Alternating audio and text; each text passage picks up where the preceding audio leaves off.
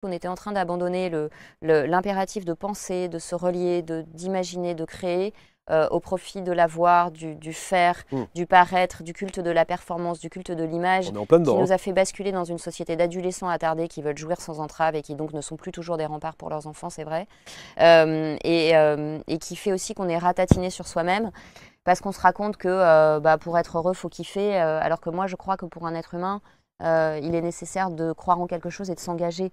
Les gens qui s'engagent dans rien sont pas heureux en fait. Les gens qui s'engagent sont heureux parce que ils vont mettre tout leur potentiel, ils vont prendre confiance en eux, ils vont mettre tout leur potentiel au, service de, au service de quelque chose en lequel ils croient.